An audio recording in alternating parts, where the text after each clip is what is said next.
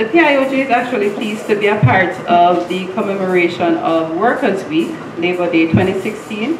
with a focus on the new dynamics in the workplace as we acknowledge the findings of the 2015 Human Development Report.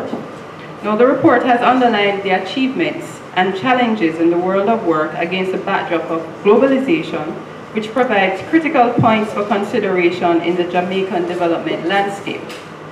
The value placed on decent and productive work and human development is timely and relevant with the adoption of the 2030 Agenda for Sustainable Development, as well as our very own Vision 2030 Jamaica, our National Development Plan, and the work we're currently undertaking with labour market reform, as Jamaica continues to improve its performance in the Human Development Ranking.